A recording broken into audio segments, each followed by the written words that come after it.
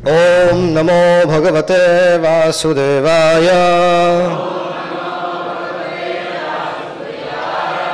ॐ नमो भगवते वासुदेवाय। ॐ नमो भगवते वासुदेवाय। नारायणं नमस्कृत्यं नरं चैव देवीं सरस्वतीं व्यासं। ततो जयत्मुदीरयेत्। नष्टप्रायेषु भद्रेषु नित्यं भागवतसेवया भगवती उत्तमश्लोके। भक्तिर्भवति नैष्टिकी कृष्णाय वासुदेवाय। देवकीनन्दनाय च।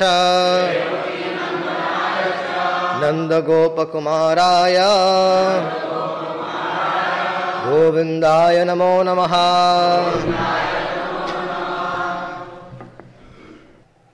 श्रीराज उवाच। नन्दः किम् अक्रोत् ब्रह्मन्? श्रेया एवं महोदयम्। यशोदा च महाभागा। पपौ यस्यास्तनं हरि। श्रीराज उवाच। नन्दा किम् अक्रोत् ब्रह्मन्? श्रेया एवं महोदयम्। यशोदा च महाभागा। पपौ यस्य स्तनं हरि। श्रीराज उवाच। नन्दा किम् अक्रोध ब्रह्मन्। श्रेया एवं महोदयम्। यशोदा च महाभागा। पपौ यस्यास्तनं हरि।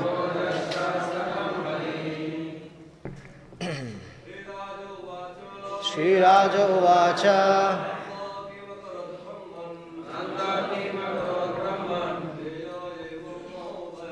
श्रीराजोवाच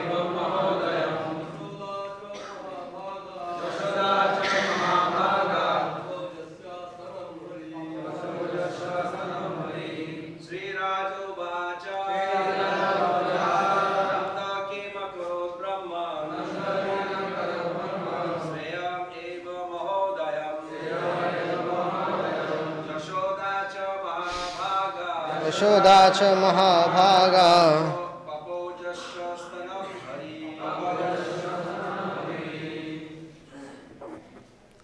माताओं में से कोई है? ठीक है, कोई बात नहीं। श्रीराज उवाच। महाराज परीक्षित ने और आगे पूछा।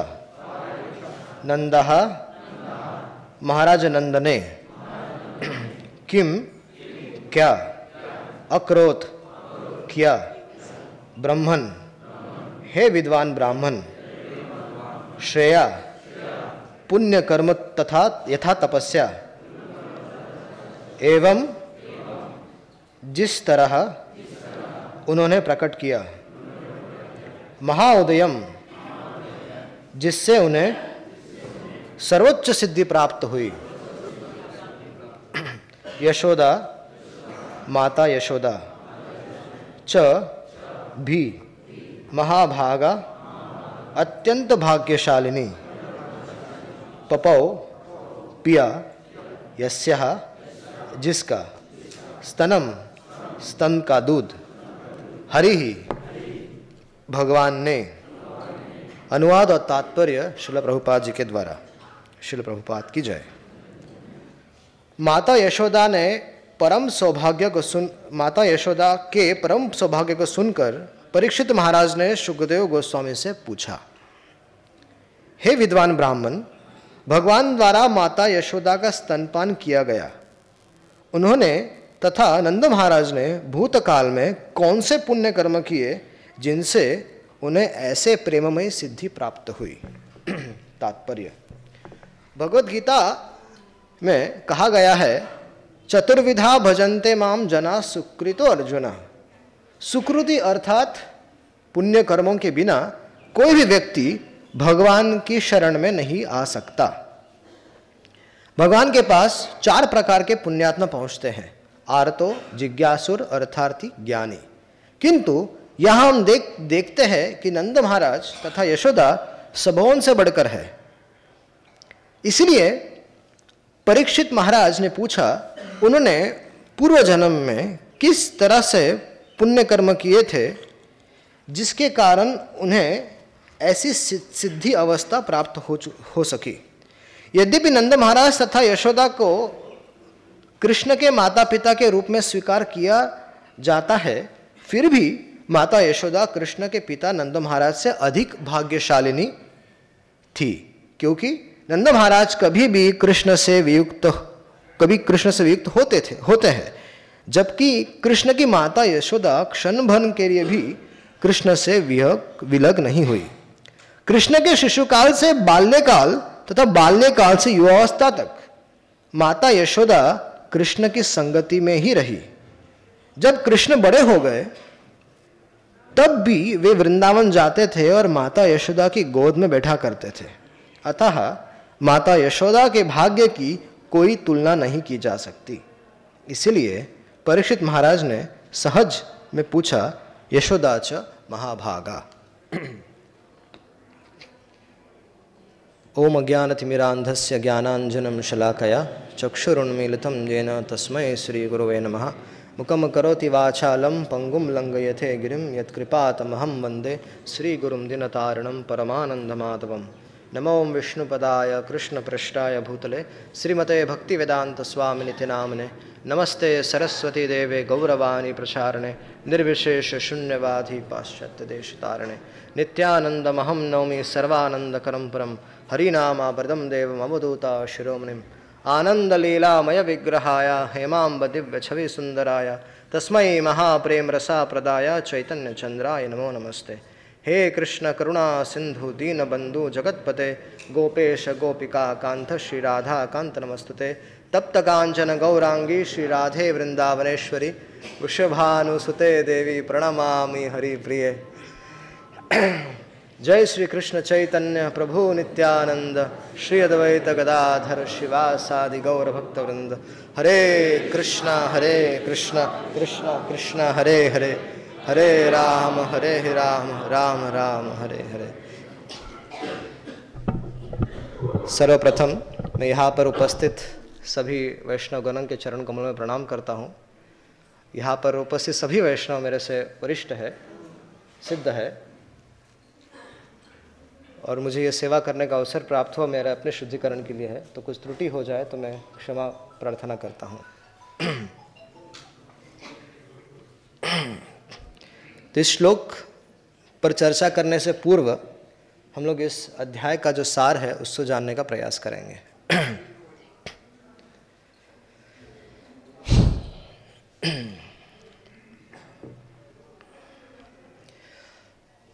भगवान के जन्म के पश्चात वसुदेव जी ने गर्ग मुनि को गोकुल भेज दिया नंद महाराज और यशोदा के पास।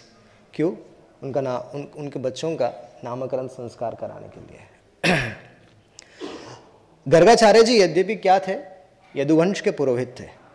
लेकिन उन्होंने रिस्क लेकर हम्म, कंस का भय था लेकिन फिर भी उन्होंने कहा कि ये तो मेरे बच्चे वहाँ पर है। तो गर्गाचार्य से रिक्वेस्ट किया कि आप जाइए और मेरे बच्चों का नाम संस्कार ना नामकरण संस्कार कीजिए। गर्ग गर्ग मुनि जब पहुँचे गोकुल पहुँचे। नंद महाराज और समस्त गोकुलवासी अचानक से एक महान साधु को देखकर बड़े प्रसन्न हुए और उनकी इच्छा थी, नंद महाराज की भी इच्छा थी कि नामकरण संस्कार हुआ जाए, लेकिन कैसे कैसे कहा जाए? क्योंकि कंस का भय था और कृष्ण और बलराम जब जन्म लिए थे, उस समय कुछ बड़ा बड़ा फेस्टिवल होना चाहिए था, लेकिन हो नहीं पाया, कंस का भय था। तो गर्ग मुनि से रिक्वेस्ट की गई कि आप कृपया करके आप क्या आप हमारे कृष्ण और बलराम, हमारे बच्चों का नाम नामकरण कर सकते हैं? तो गर्ग मुनि बोले, शुरुआत में तो हिचकिचाए कि कैसे नामकरण करूँ मैं? क्योंकि यहाँ पर तो छोटी छोटी बातों पर बड़े बड़े महोत्सव मनाने का प्रथा है। भगवान ने करोड़ बदली तो महोत्सव मनाओ, ये किया तो महोत्सव मनाओ, वो किया तो महोत्सव मनाओ। तो गर्ग मुनि ने कहा कि इस तरह से अगर मैं यहाँ पर पहुँचा, अगर मैं अगर नाम का संस्कार करूँ तो बड़ा महोत्सव मनाएँगे और उस कारण से क्या हो जाएगा? कंस को खबर पहुँच जाएगी। और मैं फंस जाऊँगा, क्योंकि मुझे तो वही रहना है आसपास में। तो गर्ग मुनि ने कहा कि अगर आप छोटा सा उत्सव करेंगे, चुपचाप से, दो चार लोगों के बीच में, तब तो मैं कर सकता हूँ। तो नंद महाराज कहे, ठीक है, ऐसा तो सौभाग्य कहाँ मिलेगा? उत्सव तो होते रहेंगे। तो गर्गाचार्य जी और छोटा, जो छोटे से परिवार था उनका, उन सबको लेके गौशाला में जाकर उन्होंने नामकरण संस्कार किया। शुरुआत में रोहिणी के पुत्र को देखते हुए वे कहे कि क्योंकि ये जो रोहिणी का पुत्र है, ये सबको रमाएगा, सब, इसलिए इसका नाम होगा राम। और इसमें अद्भुत बल है, इसलिए इसका नाम बलदेव भी होगा। और क्योंकि ये यदुवंश में, यदुवंश के लोगों को, सब लोगों को अपनी तरफ़ आकर्षित करेगा, इसीलिए इसका नाम संकर्षण भी होगा। उसके पश्चात उन्होंने यशोदा जी के पुत्र को देखकर कहा कि ये ये तो अद्भुत ही बालक है। इसके तो अनगित, अनगिनत नाम है इसके। ये हर युग में जन्म लेता है और क्योंकि इस इस समय कृष्णता को प्राप्त हो इसलिए इसका नाम होगा कृष्ण। लेकिन उन्होंने एक एक ऐसी बात कह दी कि क्योंकि इसने वसुदेव जी के पास भी पहले जन्म लिया है, इसका नाम इसलिए इसका नाम इसको वासुदेव भी होगा। अब नंद महाराज आश्चर्य में पड़ गए कि अरे, इसने वसुदेव जी के पास भी पहले जन्म लिया है। तो बोले, अरे, ये तो मेरा मतलब हम दोनों का पुत्र रह चुका है ये। अब ये भावना तो उनके मन में नहीं आई कि वसुदेव जी आकर छोड़ कर गए थे। कि उसका कारण तो आगे पता कि क्योंकि नंदा आत्मा, आत्मच उत्पन्न क्योंकि यहाँ पर दो जगह कृष्ण जन्म लिए थे। तो वसुदेव, नंद महाराज के इसमें ये धारणा ही नहीं हुई कि ये वसुदेव जी का पुत्र है। यही यही धारणा हुई कि पूर्व जन्म में कहीं पे इस, मेरे लाला ने वसुदेव जी के यहाँ पर भी जन्म लिया था, और इसलिए इसका नाम वासुदेव हुआ। तो सुखदेव गोस्वामी इन सब घटनाओं का वर्णन करते हुए फिर भगवान की जो घुटनों के बल चलने की जो अद्भुत लीलाओं का वर्णन करते हैं उसके पश्चात वे जब भगवान चलने लगे उन घटनाओं का वर्णन करते हैं और उसके बाद किस तरह से उन्होंने माखन चोरी प्रारंभ की ब्रज में सो उन विविध प्रकार की लीलाओं का वर्णन करना वे प्रारंभ करते हैं। और करते करते करते करते हम्म, फिर वो आते हैं माँ माँ यशोदा और जो श्री कृष्ण की जो दंडित करने की जो लीला जब माँ यशोदा ने किस तरह दंडित किया श्री कृष्ण को एक ऐसी घटना होगी कि भगवान मिट्टी खा रहे थे। और मिट्टी खाते खाते खाते बड़ा भगवान को बड़ा अच्छा लग रहा था, आस्वादन कर रहे थे। जैसे हम लोग महाप्रसाद खाते, भगवान का प्रसाद खाते, वैसा भगवान को आनंद आ रहा था, मिट्टी खाकर आनंद आ रहा था। और जब ये बलराम इत्यादि सारे जो भाइयों ने उनके देखा कि मिट्टी खा रहा है तो इसको तो दंड मिलना चाहिए। उसकी हाथों से छुड़ा रहे थे उसका हाथ। छोड़, मत खा मत खा। तो भगवान तो और खाते जा रहे थे। हम्म। तो अंत में कहा, इसको तो इसकी तो पिटाई होनी चाहिए। तो जाकर धीरे धीरे बारी बारी से सब लोग जाकर माँ यशोदा को बोलने लगे कि, हरे, मैया तेरा लाला मिट्टी खा रहा है। बोला अच्छा हमारे हमारे घर की नाक नाक काट देगा तो पूरी आबरू मिट्टी में मिला देगा ये। हमारे इतने घर पे इतना दूध, माखन, दही सब पड़ा रहता है, ये जाके मिट्टी खा रहा है। तो जाकर माँ यशोदा ने उसको डांट दिया। तो भगवान बोले तो मैं तो माँ, मैं मिट्टी नहीं खाया हूँ। तो माँ बोली झूठ बोलता है सारा दाऊ सब झूठ बोलता है. हाँ ऐसे पॉलिटिक्स से झूठ बोलते हैं सब लोग। हम्म। तो माँ बोली अच्छा मुँह खोल मुँह खोल। तो जब ज़बरदस्ती माँ ने उसका मुँह खोला तब सारा ब्रह्मांड के सारे ब्रह्मांड के दर्शन भगवान ने विश्वरूप ही दिखा दिया उन्हें। और उसमें उसमें एक और ब्रह्मांड दिखा उसमें एक पृथ्वी दिखी और उसमें माँ यशोदा और कृष्ण भी आ, माता को दिख गए। बड़े आश्चर्य में पड़ गई। लेकिन ब्रज की एक अद्भुत महिमा है कि यहाँ पर भगवान की भगवत्ता की कोई कीमत नहीं है। तो माँ यशोदा ने यही सोचा कि क्या कचड़ा मेरे बच्चे के मुँह में है? ये सोचकर माता ने उसको जाने दिया, चलो छोड़ो। अब अब महाराज परीक्षित ने जब ये प्रश्न, ये ये घटनाएँ सुनी तो महाराज परीक्षित के हृदय में एक प्रश्न आया। तो उन्होंने पूछा, नंदा किम अक्रोध ब्रह्मन, श्रेया एवं महोदयम, यशोदा च महाभाग? यशोदा ऐसे महाभाग्यशाली कैसे हुई, हा? पापो यस्या स्तनम हरि। तो नंदा महाराज और देव, नंद महाराज और यशोदा दोनों ही बहुत भाग्यशालिनी है। लेकिन कभी कभी ऐसा होता था कि नंद महाराज को किसी व्यवसाय के कारण बाहर जाना पड़ता था। लेकिन माँ यशोदा नित्य निरंतर भगवान की संग, भगवान उनके पास ही रहते थे। दो चार दिन के लिए कभी बिज़नेस के लिए जाना पड़ता था, बाहर घूमने के लिए, या फिर मथुरा जाना पड़ता था टैक्स देने के लिए, इत्यादि, ये सब होता था, लेकिन यशोदा जो थी, वो बहुत भाग्यशाली थी क्योंकि कभी भी उसका वियोग नहीं हुआ भगवान से। वो हमेशा, भगवान थोड़े बड़े भी हुए तो बड़े होने के बावजूद भी वो आकर गोदी में बैठ जाते थे और माँ का स्तनपान करते थे। तो इस तरह से भगवान की जो माँ है, वो बड़ी सौभाग्यशालिनी थी। तो वात्सल्य भक्त में माता आते हैं, पिता आते हैं, गुरुजन भी आते हैं। तो दो प्रकार के वात्सल्य का वर्णन हमें शास्त्र में मिलता है। हम्म। जो प्रेम यशोदा और नंद महाराज का है, उसे भी वात्सल्य प्रेम कहा जाता है और जो वसुदेव और देवकी है, उनका भी वात्सल्य प्रेम है। लेकिन इन दोनों के प्रेम में अंतर है। तो उसी अंतर को आज हम समझने का प्रयास करेंगे।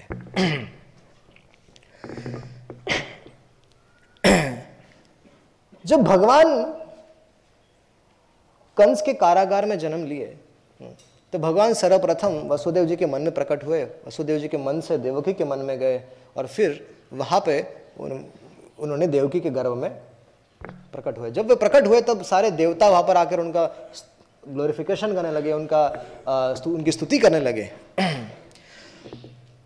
और देवकी माता ये सब देख रही थी कि सारे देवता आकर मेरे बच, मेरे गर्भ में जो बालक है, उसकी स्तुति कर रहे हैं। और जब भगवान जन्म लिए तो समस्त ऐश्वर्य ऐश्वर्य के साथ जन्म लिए। कभी ऐसा देखा नहीं होगा कि बच्चा शंख, चक्र, गदा, पद्म धारण किए, पैंट, शर्ट पहने, कभी देखा है बच्चा पैदा हुआ सब नंग नंग धड़न आता है। लेकिन यहाँ पर जो बच्चा पैदा हुआ है, वो धोती हाँ वो श्रीवत्स छिन्न, बड़े सुंदर तरीके से शंख चक्र, छोटे छोटे शंख, छोटे छोटे चक्र, छोटे गदा, छोटा पद्म, सब कुछ छोटे छोटे धारण किए हुए जन्म लिए थे।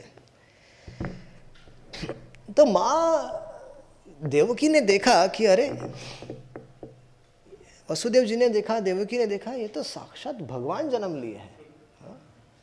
मैंने तो मुझे तो पुत्र चाहिए था, लेकिन ये तो साक्षात भगवान आए हैं। अभी वात्सल्य भी उमड़ रहा है। हाँ? और साथ ही साथ, क्या हो रहा है? भगवत भगवान है ये ये भावना भी आ रही है। तो दोनों मिश्रित है। हम्म? वासुदेव देवकीर कृष्ण चरण मंदिला ऐश्वर्य ज्ञाने दुहार मने भय हैला। तो भगवान ने स्तुति कर दी अपने माता पिता की। सोचा मेरे माता पिता कंस के कारण डरे हुए हैं। तो उस बालक ने अपने माता पिता के पूर्व जन्म की कथा को सुना दिया। अब इससे तो और भय उत्पन्न हो गया वसुदेव और देवकी में। तो अरे बाबा ये तो अप, अपना छोड़े तो हमारे पूर्व जन्म की कथा बता रहा है। तो इससे और भय उत्पन्न हुआ। और वे वसुदेव वसुदेव और देवकी भगवान की स्तुति करने लगे भगवान मानकर स्तुति करने लगे। और अंत में वे कहती है कि हे प्रभु आप कृपया करके अपने स्वरूप को छुपा लीजिए एक साधारण बालक जैसे बन जाइए। तो भगवान कहते ठीक है माँ जैसी तेरी इच्छा। हाँ। और फिर भगवान कहते कि, माँ, तुम मुझसे भयभीत मत होना। तो मुझे इस समय पिताजी पिताजी मुझे आप छोड़कर आइए गोकुल। मैं नंद बाबा के पास रहूँगा। तो इस तरह से जो भगवान ने माँ को आदेश माता पिता को आदेश दिया और वे गोकुल चले गए। तो वसुदेव और देवकी ने प्रार्थना की भगवान से।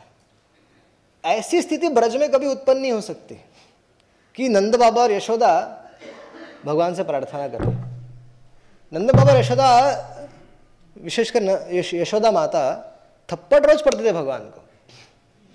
एक बार एक जगह क्लास दे रहा था मैं और टीका में ऐसी बात आई कि भगवान रोज थप्पड़ खाते थे। तो ये विदेश में था तो विदेश में मैंने बात कह दी तो उनको विश्वास ही नहीं हो रहा था कि भगवान थप्पड़ खाते हैं। हाँ? उनको ये समझ ही नहीं आ रहा था कि भगवान भी मार खा सकते हैं। तो ये भक्तों के भक्तों के बीच की बात कर रहा हूँ मैं। उन्हें विश्वास ही नहीं हो रहा था। तो मैंने कहा कि, अरे भाई, हम लोग पूरे महीने बंदे हुए श्री कृष्ण की पूजा करते हैं। तो जो साल में एक ही बार बंदे जाते हैं क्या? तो रोज रोज फटके पड़ते हैं उनको। जब जब जब जब कुछ ना कुछ भगवान कुछ क्रीड़ा करते हैं जिससे कि सारे लोग परेशान हो जाते हैं, थप्पड़ पड़ते हैं उन्हें। हम्म। यही तो ब्रज की महिमा है। ब्रज में भगवान के भगवत्ता की कोई कीमत नहीं है। वहाँ पर भगवान भगवान नहीं है, वहाँ पर नंद के लाला है, यशोदा का छोरा है। वहाँ पर भगवान श्री कृष्ण श्री कृष्ण नहीं, भगवान नहीं है। एक उदाहरण देता हूँ। जब माँ यशोदा ने दामोदर लीला के, जब दामोदर लीला हुई थी उस समय, माँ यशोदा ने श्री कृष्ण को बाँध दिया। उस समय बलराम जी वहाँ पर नहीं थे। बलराम जी कई अपने मित्रों के साथ थे। तो जब बलराम जी को पता चला, उनको बस इतनी खबर आई वायरलेस से कि, नंद तुम्हारा भाई बन गया है। बस इतना ही सुनना था कि बलराम जी का पारा चढ़ गया कि कौन मेरे कृष्ण को बांधा है? किसमें इतना सामर्थ्य हो गया कि इसने मेरे कृष्ण को बांधा है? और यही ताव ताव के साथ बलराम जी आ गए और बलराम जी ने श्री कृष्ण को देख लिया कि कृष्ण, क्या हो गया? किसने बांधा है तुझे? मैं सारे संसार को फूक दूँगा ब्रजमंडल फूक दूँगा। जानता नहीं मैं कौन हूँ? तो भगवान बोले, माँ ने बांधा है। अच्छा। तो बलराम जी बोले, बाप रे। अरे कृष्ण तो बड़ा पंगा ले लिया तूने। क्या कर दिया? कुछ नहीं, वो माखन चोरी, माखन का जो मटका था, मैंने तोड़ दिया। तो बलराम ने फट करके मारा। बोला, समझ में नहीं आता तुझे? कितनी बार समझा चुका हूँ। अपने घर में क्यों करता है? बाहर चोरी करता है बात समझ में आती है। यहाँ घर के अंदर करने की क्या आवश्यकता थी? तो लाला बोले, दाऊ, बड़ी समस्या हो गई। बोले, देखो, मेरे सारे मित्र देख रहे हैं, सब लोग, सारे गोपियाँ देख रहे सब हंस रही है मुझ पर कुछ तो करो ना। अरे कृष्ण, अगर कोई और करता तो मैं छुड़ा भी लेता, लेकिन माँ माँ माँ ने बांधा तो मैं क्या कर सकता हूँ? नहीं, दाऊ थोड़ा ट्राई तो करो। तो दाऊ फिर से क्रो, क्रोध, क्रोश में आए, क्रोध में आते हैं और बोलते हैं, हे यशोदा, तूने अपने आप को समझ क्या क्या रखा है? जानती है कृष्ण कौन है? तो बोला, कौन है? अरे ये नरसिंहदेव है, यही राम है, यही है, यही वामन बनकर आता है। बोला अच्छा और तू, तेरा परिचय? मैं अनंत शेष हूँ। मैं ही लक्ष्मण हूँ। बोलो अच्छा सारे अवतारों को मेरा ही घर मिला है। हा? और किसी का घर नहीं मिलता इन लोगों को? हा? तो माँ ने छड़ी उठाई दाऊ को दिखा दे देख बलराम ज़्यादा नाटक करेगा तो तुझे उसी उखल के साथ बाँध दूँगी। और दोनों पड़े रहना किसी में हिम्मत नहीं कि तुमको छुड़ाने में। तो दाऊ ने विचार किया भाई ये तो गड़बड़ हो जाएगी। हम्म, तो गड़बड़ हो जाएगी। तो दाऊ ने बोला दाऊ वापिस चले गए कृष्ण के पास। और बोले कि कृष्ण अगर कोई और होता ना दिखा देता उसको। लेकिन माँ के सामने क्या करा? मुझे तो वो तो मुझे भी बाँध देगी। तो ये भाव जो ब्रज में है ये भाव मथुरा वाले और द्वारका वाले कभी सोच भी नहीं सकते। तो ये अंतर है ब्रज लीला में और ब्रज के माधुर्य में और हम्म, द्वारका मथुरा द्वारका के प्रेम में।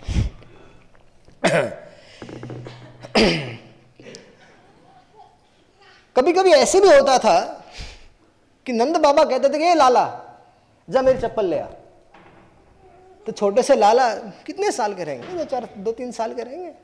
जाते थे, वो लकड़ी की जो नंद बाबा की जो पादुकाएँ थी, उसको अपने सर पर बिठा, सर पर रख के इतना भारी होता था, फिर भी बेचारे लेकर आते थे कि, बाबा, मेरे बाबा की चप्पल है। तो लाकर बाबा ले तो ये ब्रज का भाव है? तो यहाँ पर भगवान इस तरह से छोटे छोटे कार्य करते हैं। उद्धव जी को भगवान ने ब्रज में भेजा।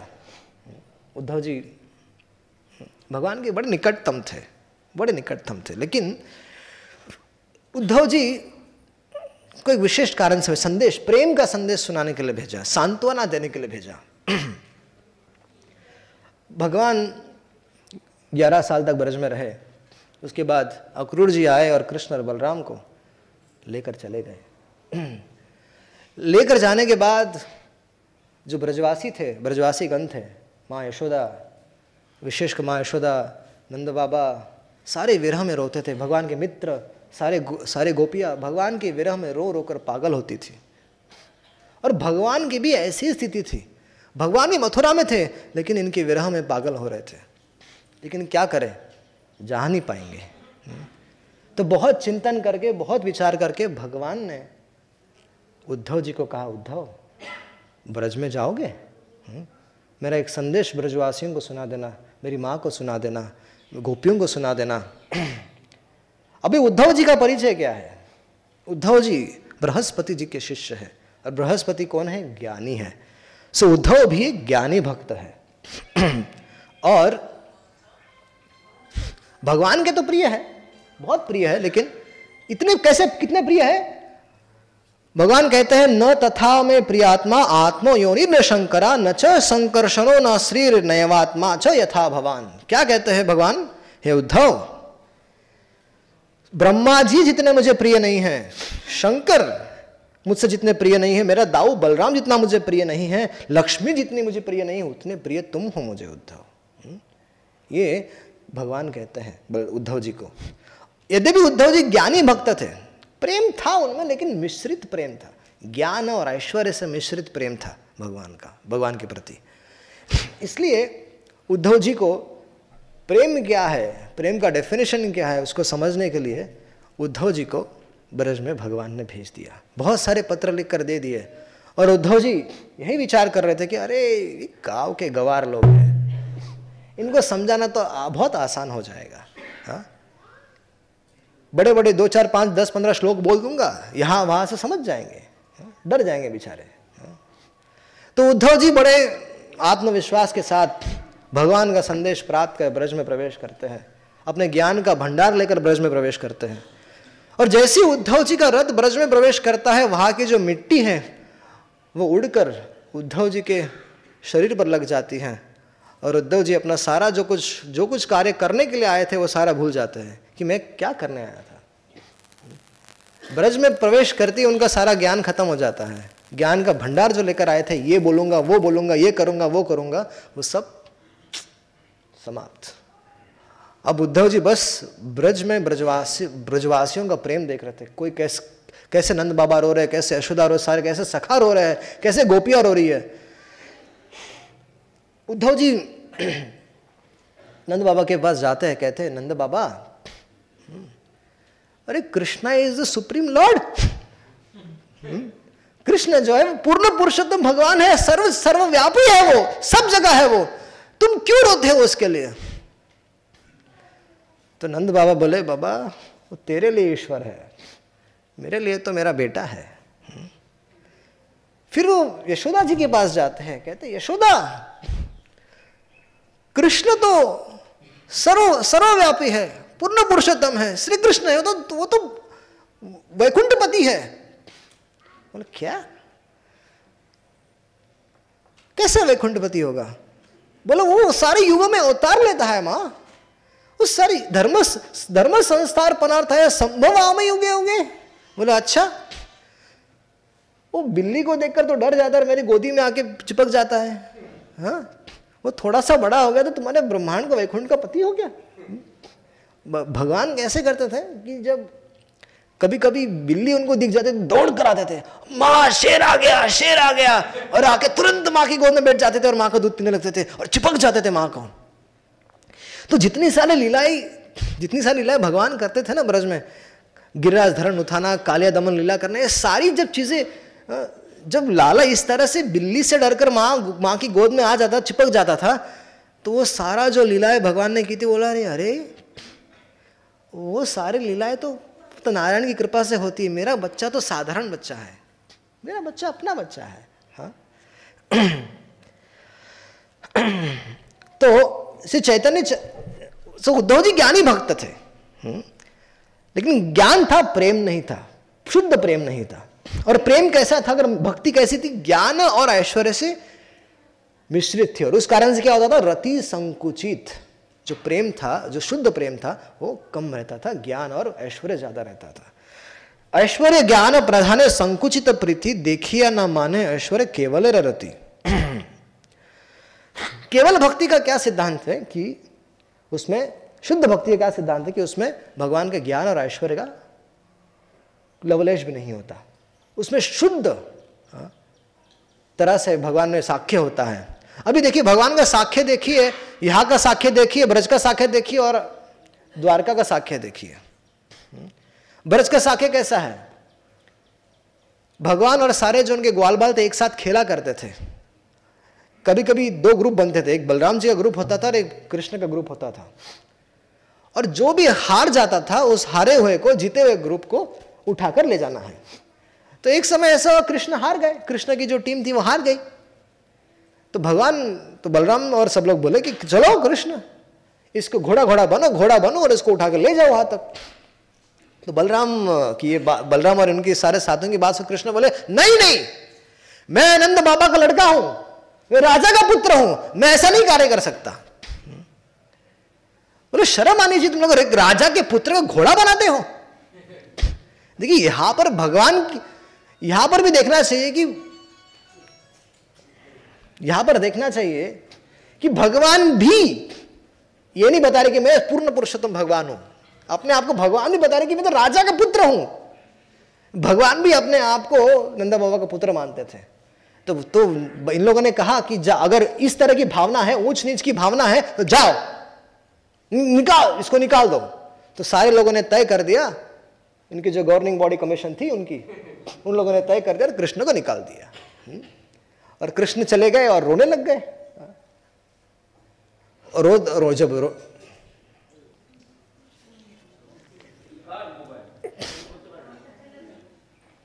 और जब श्री कृष्ण रोने लग गए कि अरे मुझे निकाल दिया मुझे क्षमा कर दो मुझे माफ़ कर दो मैं दोबारा ऐसा नहीं कहूँगा ये नहीं करूँगा वो नहीं करूँगा तब सारे मित्रों ने कहा ठीक है इसको ले लो।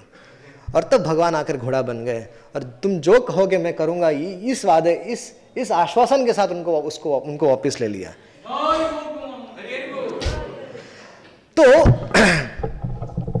दो प्रकार के प्रेम है। एक ऐश्वर्य पूर्ण और एक ऐश्वर्य शिथिल हम्म। ऐश्वर्य पूर्ण अर्थात पूर्ण तरह से ऐश्वर्य से भरे हुए। क्या ऐसी स्थिति क्या द्वारका में हो सकती है? द्वारका में कभी कभी ऐसी स्थिति आएगी कि भगवान का जो मित्र है, वे ऐसा बोलेंगे कि, हे भगवान, हमें तुम उठा लो, उठा के ले चलो मुझे। तो क्या भग, क्या ऐसे कभी भाव आएगा द्वारका के मित्रों में? कभी नहीं आ सकता। विचार भी नहीं करता। उनका कैसे, उनकी मित्रता कैसे थी? उद्धव जी मित्र थे, अर्जुन मित्र थे, सखा थे, लेकिन कैसे मित्र थे? ऐश्वर्य पूर्ण मित्र थे। हाथ जोड़कर। हम्म? साक्ष्य था। लेकिन जैसे जैसे हमारे ऑफ़िस में, जैसे भक्त जो ऑफ़िस भक्त लोग जो काम करते हैं, उनके लिए उदाहरण है कि जो ऑफ़िस में जैसी उनकी मित्रता होती है, वो कैसी होती है? प्रोफेशनल रिलेशनशिप होता है। मित्रता होती है, लेकिन सम्मान के साथ अच्छा। लेकिन यही अगर अपने कोई बचपन का लंगोटे यार कोई मिल जाए तो उसके साथ कैसी मित्रता होती है? हम्म? गाली गरोज के साथ वाली मित्रता होती है। हम्म? उसके साथ कोई संकोच नहीं होता, लेकिन ऑफ़िस के जो मित्र होते हैं, उनसे संकोच करना पड़ता है। भाई, बुरा मान जाएगा। लेकिन यही बात अगर हमारे हमारे जो बचपन के स्कूल के कोई मित्र मिल गए हाँ तो उनके साथ जो मित्रता होती है वो कैसी होती है? वो अद्भुत ही अलग ही होती है वो। उनमें कोई ऑ एंड रेवरेंस नहीं उसमें उनमें कोई ज्ञान और ऐश्वर्य नहीं होता। उनमें उनमें सम्मान करने की बात नहीं होती। आओ तो सीधा पीट दो उसको तब भी कुछ नहीं बोलेगा हाँ। तो इस तरह से ब्रजभूमि की क्या स्थिति है कि ब्रजभूमि में जो ऐश्वर्य है हाँ, वो माधुर्य से दबा माधुर्य से दबा हुआ है। माधुर्य प्रधान है और ऐश्वर्य क्या है? थोड़ा थोड़ा है। ऐश्वर्य है। भगवान लीलाएँ करते हैं, बहुत से लीलाएँ करते हैं ब्रज में। गोवर्धन उठा देना। भगवान ने क्या किया? गिराज धरण सात दिन तक गिराज धरण कर लिया। तो सबने यही विचार किया, अरे, भगवान श्री नारायण के हेतु की कृपा है इस पर। तो इसने उठा लिया। ब्रह्मा जी आकर दंडवत माने लगे। बड़े बड़े चार चार चतुर्मुखी ब्रह्मा दंडवत माने लगे तो भगवान के जो मित्र थे वो विचार करने लगे कि ये ये ब्रह्म ब्रह्मा आकर हमारे कृष्ण को दंडवत क्यों कर रहा है? हम्म? या फिर इंद्र आके हमारे कृष्ण को प्रणाम क्यों कर रहा है? इन लोगों की बुद्धि ठीक है? हाँ? ये कितनी विचित्र बात है। ये कृष्ण क्या है? कृष्ण में ऐसा स्पेशल क्या है? कृष्ण और हम तो सेम है। हम एक ही गाँव में रहते हैं। ऐसे कृष्ण में क्या विशिष्टता है? हाँ कभी कभी कोई दो चार पाँच असुरों को मार देता है। वो तो क्या, हम लोग भी मारते हैं। हम लोग भी कर सकते हैं, उसमें क्या है? जब धेनु का सुर का जब वध हुआ तो धेनु का सुर गधे के रूप में था तो भगवान तो बलराम ने उसको घुमा के, उठा के पटक दिया। तो बच्चों को बड़ा मज़ा आया। तो बच्चों ने कहा कि कृष्ण, हम लोग भी कर सकते हैं क्या? बोला हाँ करो। तो बता दिया कृष्ण ने, ऐसे, वो दोनों के, गधों के जो पिछले वाले जो पैर उनको पकड़ो, घुमाओ और फेंको। तो सारे बच्चों ने इसको खेल ही समझ लिया। जितने सारे गधे आते थे, उन, भगवान ने उनको शक्ति दी थी तो जितने सारे गधे आए थे सारे बच्चों ने क्या किया एक गधों को पीछे पकड़ा घुमाया फेंक दिया? हम्म? तो सब सब लोग तो धेनु का सुर का वध था लेकिन सबको ऐसा लग रहा था कि सभी लोग आनंद ले रहे हैं तो ब्रजभूमि में जो ऐश्वर्य है हम्म, वो कम है एकदम दबा हुआ है और माधुर्य की प्रधानता ज़्यादा है मथुरा में द्वारका में क्या स्थिति है माधुर्य है, लेकिन कम है। और ज्ञान और ये जो ज्ञान और जो ऐश्वर्य है, उसकी प्रधानता ज़्यादा है।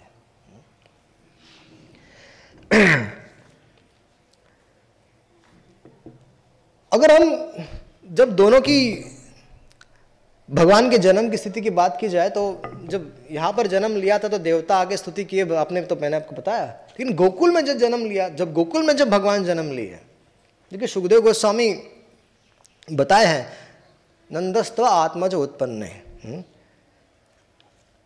सुखदेव गोस्वामी कहते हैं कि नंद महाराज के यहाँ पर भी आत्मज, भगवान श्री उनके आत्मज उत्पन्न हुए, जन्म लिए। तो इसका अर्थ है कि श्री कृष्ण दोनों जगह जन्म लिए थे। और जब वसुदेव जी अपने लाला को, अपने श्री कृष्ण को लेकर, देवकी वसुदेव जी जब देवकी नंदन श्री कृष्ण को लेकर जब गोकुल पधारे थे तो वहाँ पर उन्हें क्या दिखा? केवल योग, केवल क्या दिखा उन्हें? एक लड़की दिखी।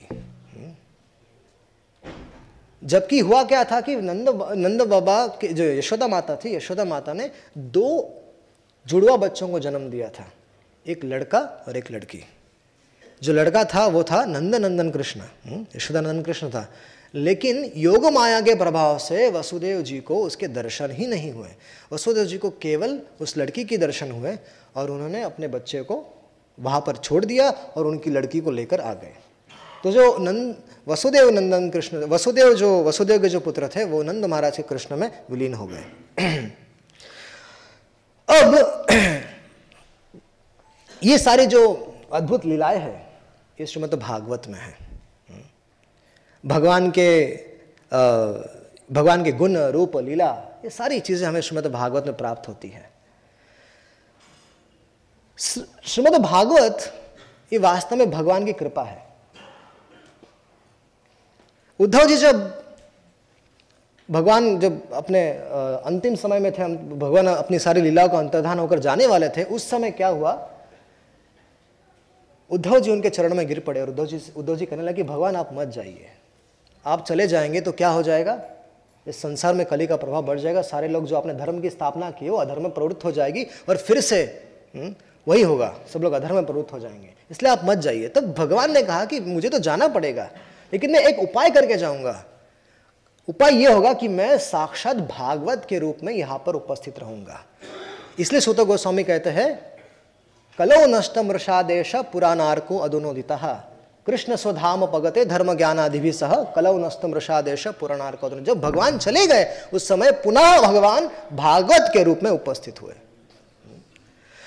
और चैतन्य चरितमृत में हमें थोड़ी भागवत की महिमा को समझना पड़ेगा। भागवत हमारे जीवन में कितना महत्व रखता है। भागवत को समझना पड़ेगा।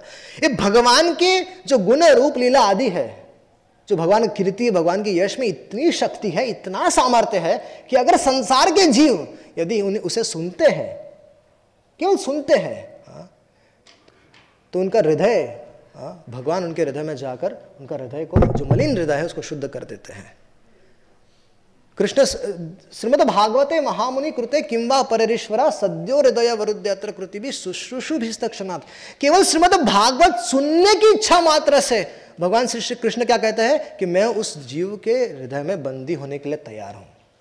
केवल इच्छा मात्र से। और भागवत यदि सुन ले, तब तो बात ही क्या है? तो चैतन्य चरितामृत में श्री कृष्ण चैतन्य चरितामृत में क्या कहा गया है? कृष्ण तुल्य भागवत विभू सर्वाश्रय प्रति श्लोक प्रति अक्षर नाना अर्थक है। जिस तरह से भगवान महान है, उसी तरह से श्रीमद भागवत भी महान है। और जिस तरह से भगवान सभी जीवों को आश्रय देते हैं, उसी तरह से भागवत भी सभी लोगों को आश्रय देता है। भगवान के यहाँ पर धराधाम पर आने का एक प्रयोजन है। भगवान इतनी बार अवतार लेते हैं, उनके यहाँ पर आने का प्रयोजन होता है। क्या प्रयोजन होता है? कि संसार का जो बद्ध जीव है, उनको अपनी तरफ़ आकर्षित करे। अपना प्रेम प्रदान करें, अपने प्रेमी भक्त बनाए। उनका मुख्य प्रयोजन होता है। तो वही प्रयोजन, जो भगवान को प्रयोजन है, प्रश्न हो सकता है कि भगवान अभी तो है नहीं, लेकिन उनका अभी उनका जो मिशन है जो प्रयोजन है, उनका कैसे सिद्ध हो रहा है? तो वो भागवत के रूप में सिद्ध हो रहा है। तो भगवान भागवत के रूप में है, और भक्त लोग भगवान के गुण रूप लीला आदि को गाते हैं भागवत में से। और जो भगवान का कार्य है, क्या भगवान का कार्य है? संसार के बद्ध जीवों को अपनी तरफ़ आकर्षित करना। ये भगवान का कार्य है। तो वही कार्य भागवत भी करता है। साधु लोग भी करते हैं। साधु जन भागवत में से भगवान के गुण, भगवान के रूप, भगवान की लीलाओं को गाते हैं, प्रकाशित करते हैं। और क्या होता है? संसार के बद्ध जीवों को श्री कृष्ण से जोड़ देते हैं। तो भागवत का भी वही कार्य है। साधुओं का भी यही मिशन है। क्या? संसार के बद्ध जीवों को अपना, भगवान का प्रेम प्रदान करना। इसलिए इसलिए कहा गया कि प्रेममय भागवत श्री कृष्ण अंग तहाते कहे न यथा गोप्य श्री रंग, श्री कृष्ण रंग। कि भागवत श्री कृष्ण का अंग है। श्री कृष्ण और भागवत में कोई अंतर नहीं है और भगवान की जितनी गुह्य से गुह्य लीलाएँ हमें श्रीमद भागवत में मिलती है। लेकिन एक बात है, ये भागवत हमारा जीवन कैसे बनेगा? क्या प्रॉब्लम है हमारे में? कि जिस तरह से इतनी सारी महिमा भागवत की जानने के बावजूद भी श्रीमद भागवत हमारा जीवन नहीं बन पा रहा है। क्या कारण है? श्री श्रील वेदव्यास दूसरे स्कंद में सॉरी दूसरे श्लोक में कहते हैं, धर्मा प्रोजित कई तव अत्र परमो निर्मत्सरा नाम सताम कौन श्रीमद भागवत को समझ सकता है? कौन इस भागवत धर्म तत्व को समझ सकता है? कौन समझ सकता है? देखिए, दो प्रकार के धर्म हैं। एक तो साधारण धर्म है और एक भागवत धर्म है। यदि हम आप देखेंगे कि जब अजामिल के प्रसंग में जो यमराज और यमदूत आपस में एक दूसरे के सामने थे, तब यम तो विष्णुदूतों ने यम, यमदूतों को प्रश्न पूछा था कि धर्म क्या है? तब उन्होंने सा, जो साधारण धर्म की व्याख्या की थी और अजामिल को दंडित करने के लेके जा रहे थे। लेकिन जब विष्णुदूतों ने धर्म की व्याख्या की उन्होंने भागवत धर्म की व्याख्या की और उस भागवत धर्म के कैलकुलेशन के हिसाब से अजामिल को भगवान के धाम जाने के लिए योग्य था। तो ये भागवत धर्म तत्व को कौन व्यक्ति समझ सकता है? एक गूढ़ रहस्य है भागवत धर्म तत्व। कौन समझ सकता है?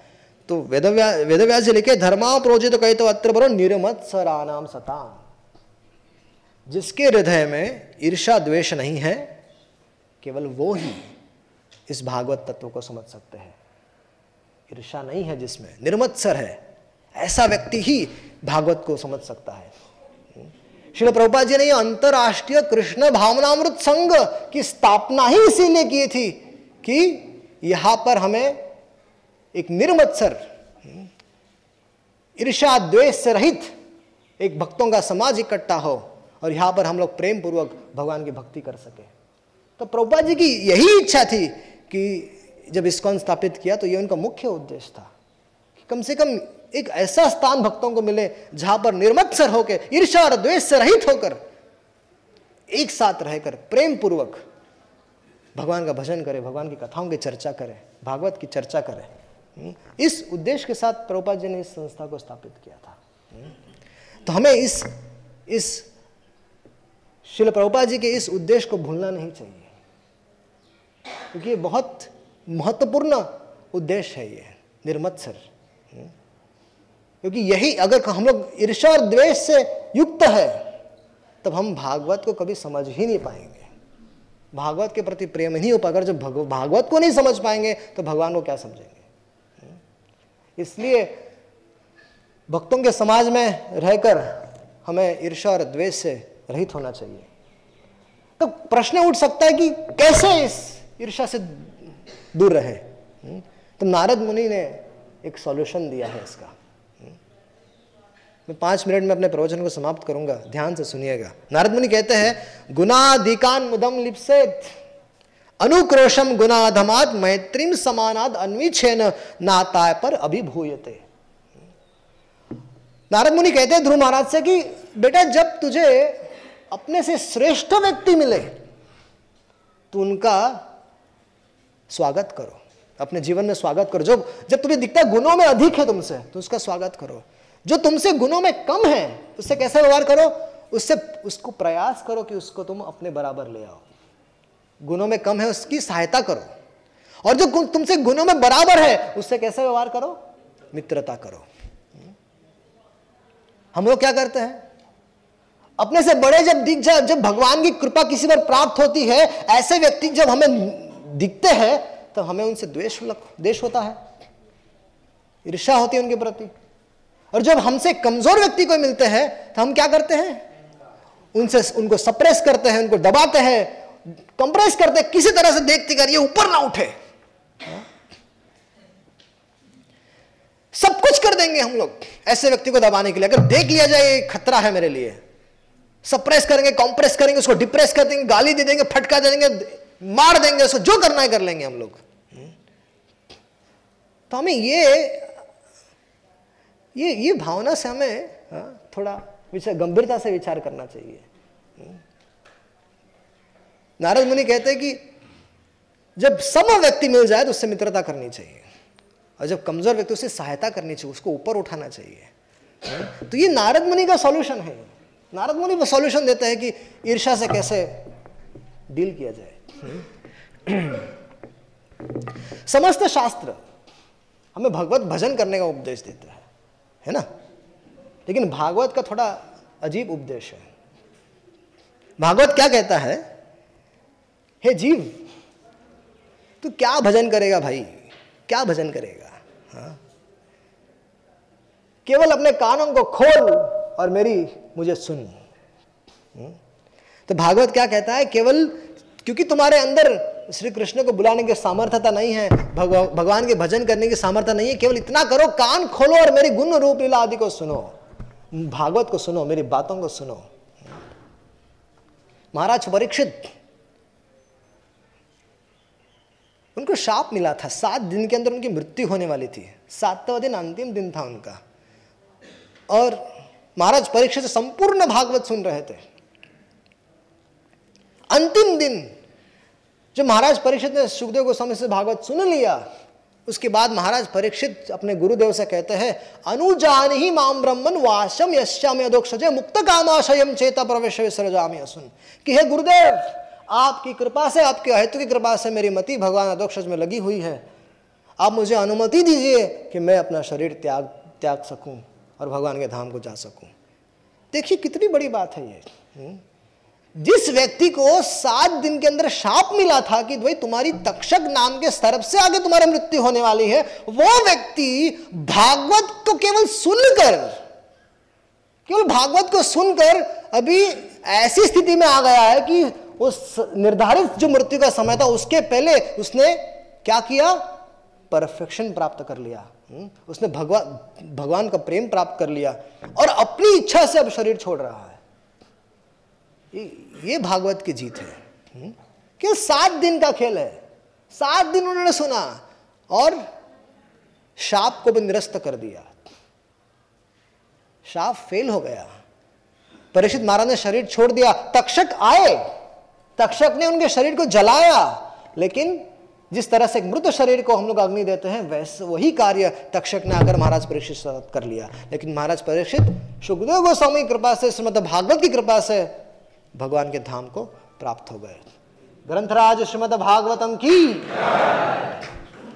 किसी का प्रश्न है तो पूछ सकते हैं।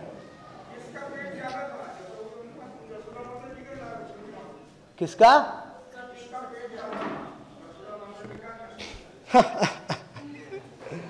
प्रेम तो प्रेम है, लेकिन दोनों के प्रेम में अंतर है।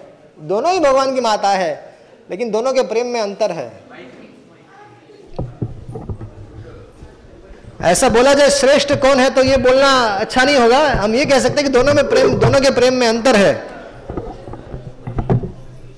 हरे कृष्णा।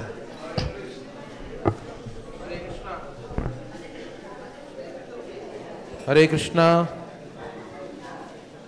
ब्रज का जो भाव आपने बताया, वो भगवान का घर है, भगवान वह भगवान नहीं है।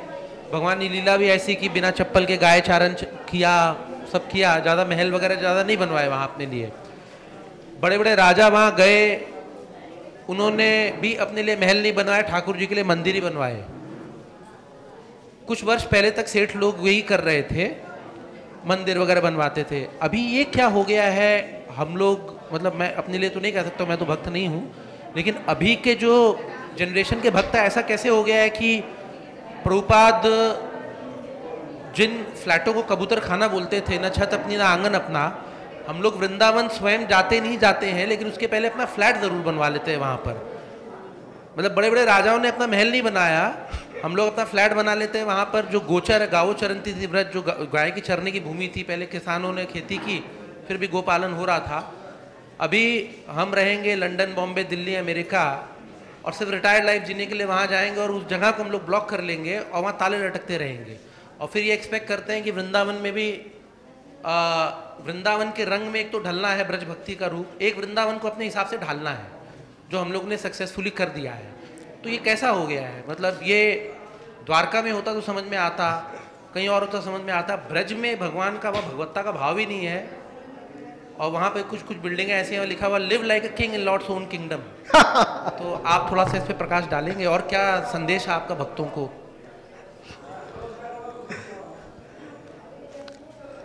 आपने प्रश्न जो पूछा है इसका उत्तर मेरे पास नहीं है। ठीक है। आप उत्तर मत दीजिए प्रेरणा दीजिए कुछ। संकेत दे दीजिए।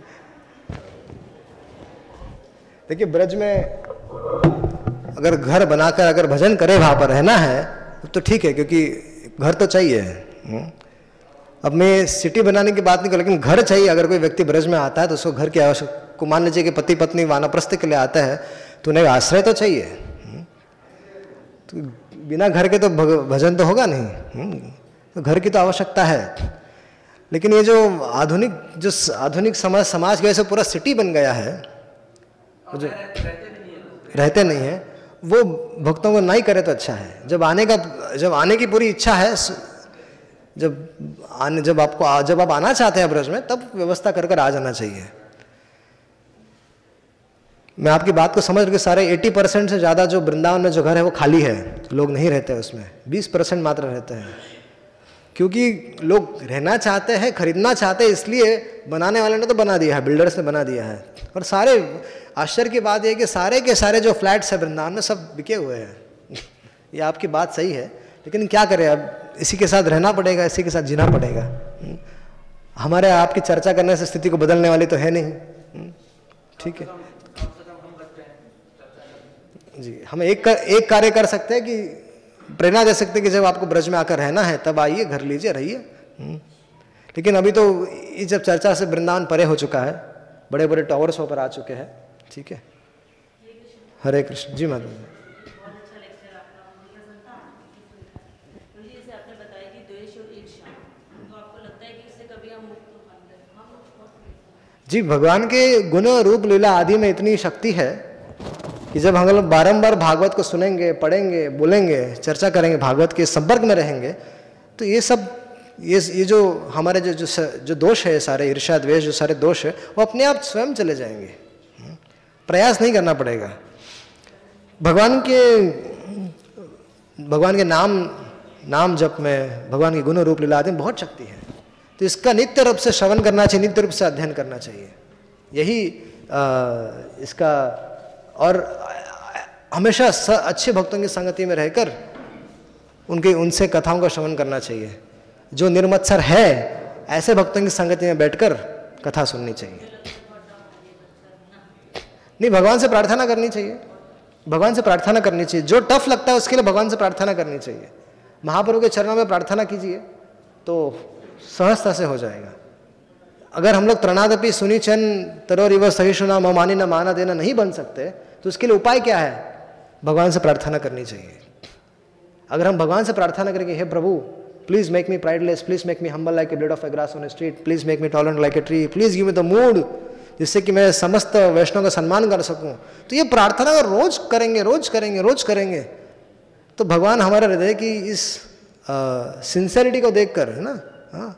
भगवान हमें हृदय से ऐसा प्रेरित भगवान चैत्य गुरु के रूप में हृदय में है तो हमारी सहायता करेंगे। लेकिन हमारे हृदय में ये, ये इच्छा होनी चाहिए कि मुझे ऐसा बनना है।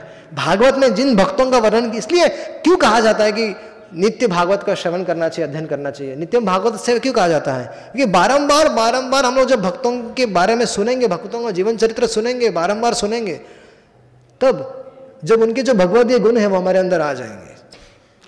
जब हम भागवत पढ़ते हैं, भागवत सुनते हैं तो हम लोग वास्तव में पांडवों की संगति में है, वास्तव में सुखदेव गोस्वामी की संगति में वास्तव में हम लोग ध्रुव महाराज प्रहलाद महाराज की संगति में है। ऐसा नहीं कि कोई साधारण ग्रंथ नहीं है। ये हम लोग वास्तव में हम इन महान वैष्णव का संग करते हैं। और बारंबार बारंबार बारंबार संग करेंगे, तब इनके जो भगवदीय गुण हैं, वो हमारे अंदर आ जाएँगे। लेकिन हमारी तरह से प्रयास होना चाहिए। जैसे ये नारद मुनि ने जो उपदेश दिया गुनाधिकान मुदम लिख से जो अपने से अधिक दिखे, उनका सम्मान करो, जो अपने से कमज़ोर, उसकी सहायता करो, अपने से सम है, उसकी मित्रता करो तो ये हमारी तरफ़ से प्रयास होना चाहिए। और भगवान से भी प्रार्थना करनी चाहिए कि भगवान, मुझ, मुझे हमें मुझे ऐसा स्वभाव दीजिए जिससे कि मैं सदैव आपके भक्तों की या समस्त जीवों के प्रति सम्मान की भावना रख सकूँ, समस्त सब में मैं आपके दर्शन कर सकूँ। ये ये प्रार्थना होनी चाहिए स्वाभाविक रूप से। भगवान के सामने जाना तो सिर्फ़ दंडवत करना नहीं होता। दंडवत करे, चलो, पंचतत्व कर ले राधा माधव करो, नरसिंह देव करो और निकल जाओ। नहीं। वहाँ पर खड़े रहकर भगवान के दर, भगवान को निहारना चाहिए, भगवान के दर्शन करने चाहिए और, भगवान की स्तुति करनी चाहिए। और क्योंकि भागवत में इतनी सारी स्तुतियाँ रखी गई है। क्यों रखी गई है? ताकि हमें हमें प्रेरणा मिले हाँ कि जैसे ये ये महान लोग स्तुति कर रहे हैं, ऐसे हम स्तुति हमें भी करनी चाहिए। तो दो तरीके हैं, या तो इनकी स्तुतियों को ही दोहराए, या दूसरी, हम अपनी स्तुति बना सकते हैं और भगवान से प्रार्थना करनी चाहिए। रोज प्रार्थना करनी चाहिए, और प्रार्थना करते करते प्रार्थनाओं में ये करना, रखना चाहिए कि प्रभु, मुझे निर्मत्सर बनाओ। हम्म? मुझ पर ऐसी कृपा करो कि मुझे भागवत, आपके जो भागवत में जो गुण रूप लीला आदि है, आपके वो समझ में आ जाए। मुझे आपका प्रेम प्रदान करो, अच्छे भक्तों की संगति दो। तो ये सारी प्रार्थना भगवान से करनी चाहिए। हम्म? हरे कृष्ण। यस माता जी हरे कृष्ण प्रभु जी मैं ये जानना चाहती हूँ कि जैसे हम कह रहे हैं कि जब भागवत जो है, अपने इंटरेस्ट से अगर कोई सुनना नहीं, इच्छा नहीं है उसके सामने भी अगर भागवत की कथा हो रही है और की जा रही है जैसे तो उससे उसका कुछ बेनिफिट होगा क्या? भगवान के गुण बड़े पावरफुल है। भगवान के गुण अगर किसी प्रकाशित कर रहे हैं, अगर हम लोग तो ज़बरदस्ती नहीं करना चाहिए। ज़बरदस्ती नहीं, जैसे नाम सुना सकते हैं, नाम सुना सकते हैं। नाम सुन, इसलिए हम लोग संकीर्तन करते हैं ताकि जो जिस जिसमें भगवान पर विश्वास नहीं है वे लोग भी सुनते हैं नाम को। तो उनमें आध्यात्मिक स्वीकृति उन्हें प्राप्त होती है। तो किसी में भगवान के बारे में सुनने में श्रद्धा नहीं है तो ज़बरदस्ती नहीं सुनाना चाहिए। रीड कर रहे हैं वहाँ पे और जस्ट पर्सन इज़ लिसनिंग हाँ तब ठीक है अगर बैठ के सुन रहा है तो सुनाइए भगवान के बारे में सुनाइए। भगवान के मतलब गुण रूप तो उसके हाँ निश्चित रूप से। बदलती है मैं हाँ हाँ अगर बैठ के सुन रहा है तब तो भगवान का गुण रूप लीला अपना काम करेगा। भगवान की कीर्ति में भगवान के यश में बहुत सामर्थ्य है बहुत शक्ति है। वो जब संसारिक जीवों के कान में जाती है तो हृदय में कुछ ना कुछ हो ही जाता है। हम्म, परिवर्तन तो निश्चित होगा।